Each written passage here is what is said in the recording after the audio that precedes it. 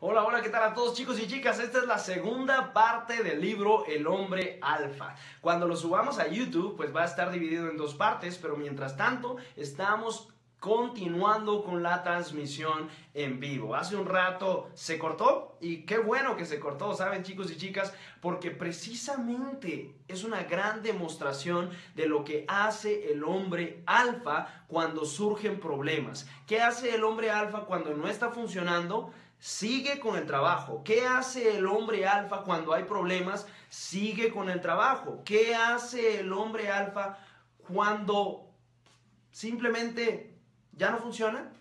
Sigue. Es inamovible. Es inamovible. No hay nada que lo detenga. No hay nada que lo descontrole. Y si vuelve a fallar, lo volveremos a hacer. Hasta que esté funcionando al 100%. ¿Por qué? Porque eso hace el hombre alfa no controla las situaciones, pero sí controla su reacción ante los problemas y las situaciones. Pero bueno, continuamos un poco más. Omar, está emocionante, saludos, dice Fernando, y esperemos que se conecten un poco más de personas también en esta segunda transmisión, ¿sabes? Entonces compártanla nuevamente con otras personas, mi intención es inspirarte, mi intención es transformarte para que seas una persona extraordinaria. Y seguimos con un tema que me encantó y es los hombres alfa miran sus miedos a los ojos y se ríen de ellos. ¿Qué haces cuando tienes un miedo? Todos tenemos miedos, todos tenemos dudas, todos tenemos frustración. Yo los miro a los ojos y me río porque no me van a mover, no me van a distraer, no me van a desenfocar, no me van a hacer que me rinda porque rendirse no es una opción, chicos. Rendirse no es una opción, chicas. Entonces, ¿qué se hace? Se sigue avanzando. Te ríes de tus miedos, te burlas de tus miedos y los destruyes. Así de sencillo. Eso hace un hombre alfa. La pregunta es, ¿qué haces tú? ¿Qué dice Alexander? Todas las noches antes de dormir busca, busco el libro del día en tu canal de YouTube. Sé que no sé qué va a ser de mí cuando termine los libros. Vamos a hacer otro reto, chicos y chicas, seguramente. Ustedes me comentarán qué hacemos. Pero vamos a seguir. Vamos a seguir. De hecho, ¿saben? ¿Saben qué vamos a hacer, chicos? Vamos a llegar a los 100 videos y vamos a hacer una transmisión especial y vamos a hacer un video conmemorativo a los 100, a los 200, a los 300, hasta llegar a los 1000, donde haremos un super video con un mensaje motivacional.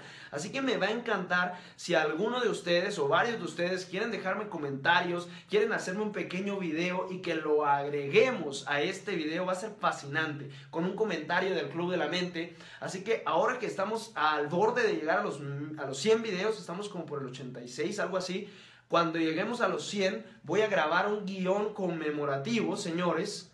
Ah, voy a grabar un guion conmemorativo y quiero que ustedes, quien guste, si alguien gusta, grabe un pequeño video y me lo envíe para que sea agregado a el, el, video conmemorativo. Es decir, voy a agregar video 1, 2, 3, 4 hasta el video 100, una pequeña porción, así de sencillo. 4 segundos de un video, 2 segundos de un video, 3 segundos de otro video, del 1 al 100. Y quiero que tú grabes un video diciéndome cuál ha sido tu experiencia en el Club de la Mente y lo vamos a adicionar. Te lo voy a agradecer mucho. Te voy a dar obsequios si lo haces. Así que déjame tus comentarios para saber si tú vas a ser una de las personas porque ya casi llegamos al video 100 y voy a preparar esto de manera fascinante. De verdad, te voy a agradecer muchísimo porque vas a quedar tú en el video, en uno de los 100 videos. Entonces, hoy me están preguntando el nombre del libro. Se llama El hombre alfa y el autor es Patrick King. Anótalo, Patrick King es el autor, si no después lo voy a colocar aquí abajo respondiéndole a todas las personas que me preguntaron esto. Pero comento una vez más, cuando lleguemos al video 100, voy a hacer un video conmemorativo donde estén 2 segundos, 3 segundos de cada uno de los 100 videos, de los primeros 100 libros en el Club de la Mente y voy a ponerle música y un mensaje motivacional. Si tú estás interesado en hacer un pequeño video que esté dentro de este video motivacional, va a ser fascinante, me va a encantar y va a ser un privilegio para mí colocarte dentro de este primer video. Cada 100 videos vamos a hacer un video motivacional, inspiracional, mostrando el poder de la disciplina y cómo todos juntos nos estamos convirtiendo en leyendas. Pero sigamos avanzando. Hoy los hombres alfa, cómo tener actitud extraordinaria, cómo tener poder y gallardía para siempre conseguir lo que quieres en tu vida. Entonces, ¿qué pasa con el miedo? Todos tenemos miedo, pero los hombres alfa destruyen sus miedos. Es simplemente una mentalidad, una perspectiva distinta que te cambia el carácter, te da fuerza, te da poder personal y te da un absolutismo con respecto a tus metas. ¿Cómo veo yo el miedo? Te lo voy a decir. Te lo voy a decir para que lo sepas, chicos. Te lo voy a decir para que lo sepas. Me voy a acercar un poco más el día de hoy. El miedo para mí, y lo más lindo que existe, es la ambición, el gusto, el disfrute y la obsesión por destruir y vencer tus miedos. Todos los días yo me despierto, ¿sabes para qué? Para vencer mis miedos. ¿Sabes para qué? Para destruir mis miedos, para verlos en el suelo, sufriendo, porque los superé. Y terminamos no, todavía no hemos terminado, sigamos avanzando. Buenas noches, qué buena idea, listo, Juan. Quien guste, haga un video, un pequeño video, obviamente con la mejor calidad de audio y de video que sea posible para ti. Envíamelo, un video diciéndome cuál es tu experiencia con el Club de la Mente, que dure unos pocos segundos, unos 30 segundos. Obviamente no lo vamos a agregar todo, sino una pequeña parte. Pero mientras más videos tengamos, va a ser fascinante. Tú vas a ser leyenda también. Tú vas a ser leyenda también. Eso es lo que quiero, que todos nos convirtamos en leyendas y que nos convirtamos en personas extraordinarias. Hacer una comunidad. Quiero ver quién aguanta los mil videos, señores. Pero sigamos avanzando entonces. La ambición, el gusto y el disfrute. Una obsesión por destruir y controlar a tus miedos. ¿Qué más? Punto número 5. Los hombres alfa asumen la responsabilidad. Fundamental, porque la responsabilidad es una real demostración de poder. Quien no asume su responsabilidad significa que es débil. Quien no asume su responsabilidad significa que tiene miedo, que es incapaz.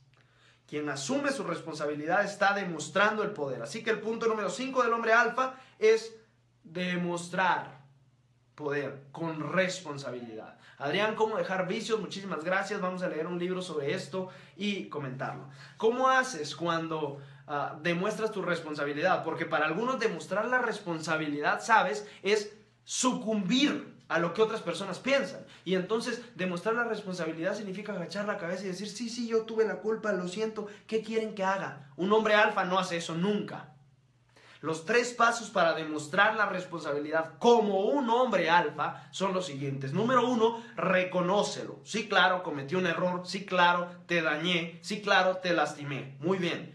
Punto número dos, discúlpate con la persona con quien cometiste este error. Siento mucho haber cometido este error, siento mucho haberte dañado, siento mucho haberte lastimado. Y el tercer paso, ¿cómo lo vas a arreglar? Dile, lo que voy a hacer para arreglarlo es esto, lo que voy a hacer para que ya no sufras es esto, lo que voy a hacer para disculparme es esto.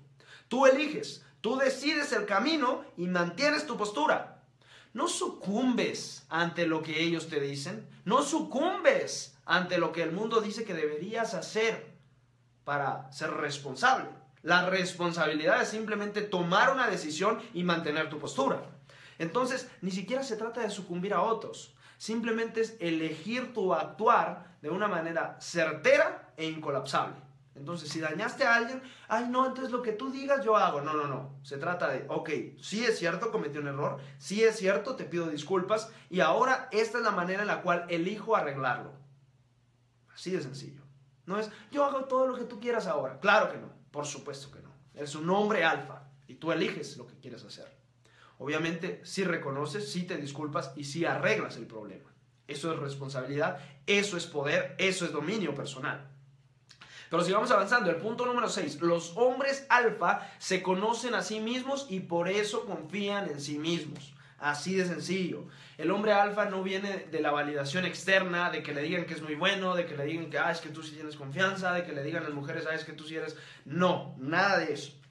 Viene del autoconocimiento. Yo sé quién soy, yo sé lo que valgo, yo sé lo bueno que tengo y aprovecho lo bueno que tengo para ser un hombre alfa. Un hombre que se sabe capaz, que se sabe que puede y confía en sí mismo.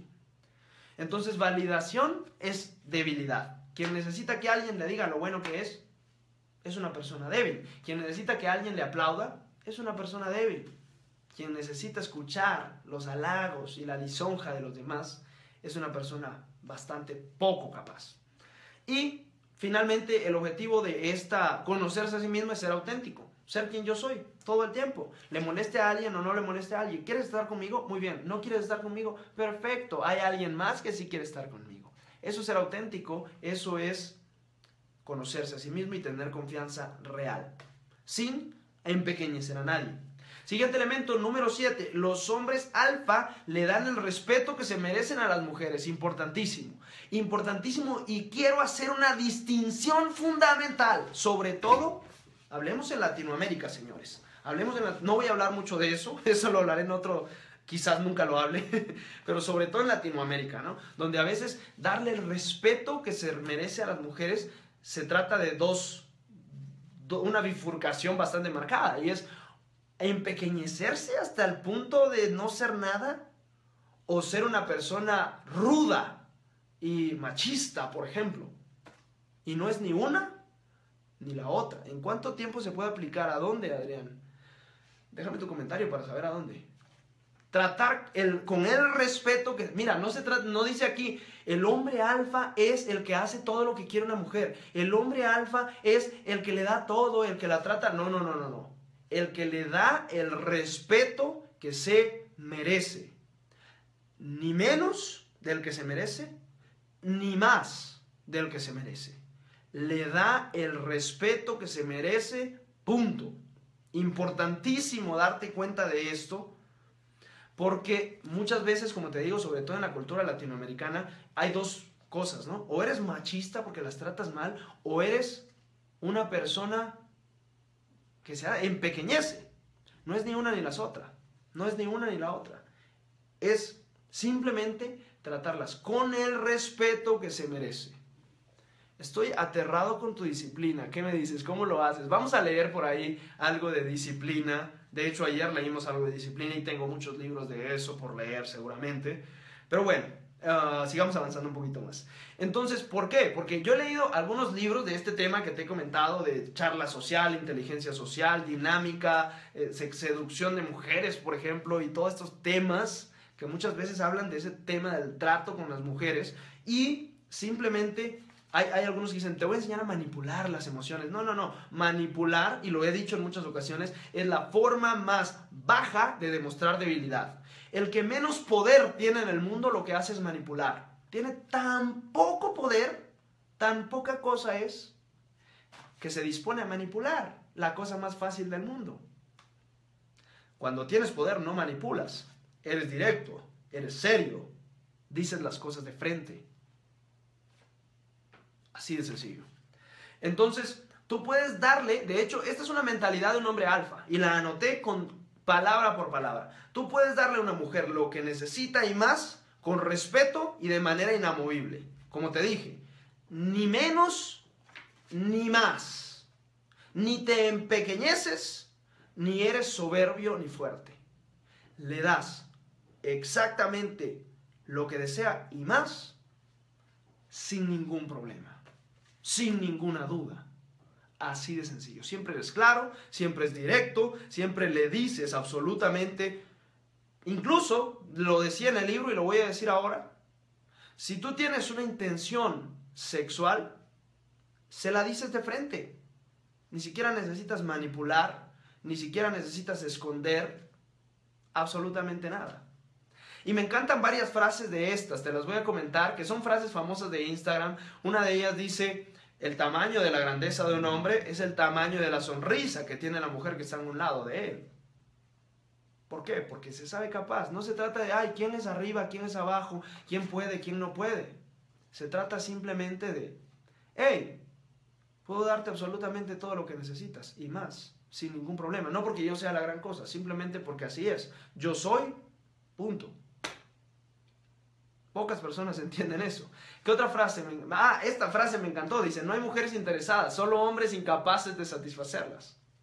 Y no estoy hablando nada más de un ámbito sexual, estoy hablando de todos los ámbitos. En el ámbito económico, si fuese necesario, en el ámbito emocional, en el ámbito de la certeza y la seguridad que le das a alguien. Así de sencillo.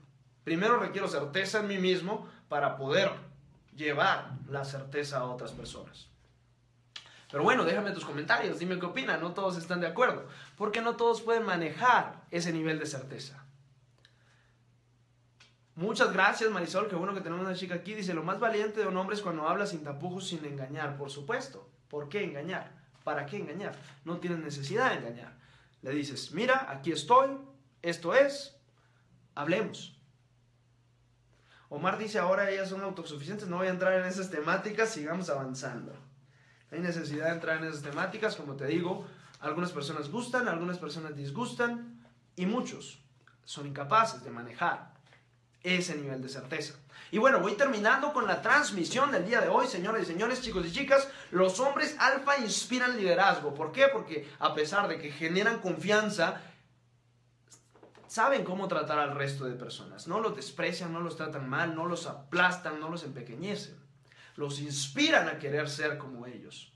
Un hombre alfa es alguien que te inspira. Dices, wow, esa persona tiene tanta confianza, a veces es un poquito rudo, a veces me trata un poquito mal, pero sé que es por mi bien y me inspira a ir más allá, me inspira a avanzar, me inspira a hacerme más fuerte cada día. Y por último, se respetan para estar en forma, fundamental, la parte física.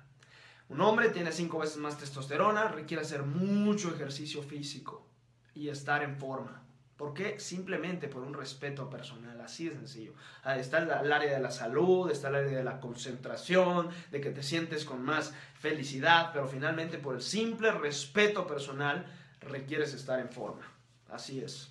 Pero bueno, esas son las meditaciones, por así decirlo, de este libro, El hombre alfa. Todavía tengo dos libros más al respecto de este tema que compré ayer, de hecho me parecieron fascinantes. Vamos a estar hablando sobre ellos. Ha sido un gusto, déjame tus comentarios para saber qué otro tipo de libros te gustaría que leyera. Comparte esta transmisión, ya lo sabes. Ah, bueno, aquí empieza una discordia, aunque seamos autosuficientes, siempre queremos que nos consientan. Así es, Marisol, qué bueno que dejan sus comentarios, ya hablaremos sobre eso, no en el Club de la Mente, en algún otro episodio de filosofía que abra o algo al respecto. Pero bueno, entonces, sigamos avanzando. Patrick King, así es Omar. Bueno, ya nos vemos en un próximo episodio. Comparte esta transmisión y ya sabes que siempre puedes solicitarme uno de mis cuatro libros impresos hasta ahora. Estamos en contacto, nos vemos muy pronto. Mañana un nuevo episodio del Club de la Mente. Si estás interesado en aparecer en el video conmemorativo de los primeros 100 episodios del Club de la Mente, hazme un video, déjame un video en vivo, envíamelo con el mejor audio, el mejor video. Te voy a obsequiar algo simplemente como un agradecimiento y vas a aparecer en el video conmemorativo. Tú también vas a ser leyenda, tú también vas a hacer historia. Nos vemos en un próximo episodio. Mil libros.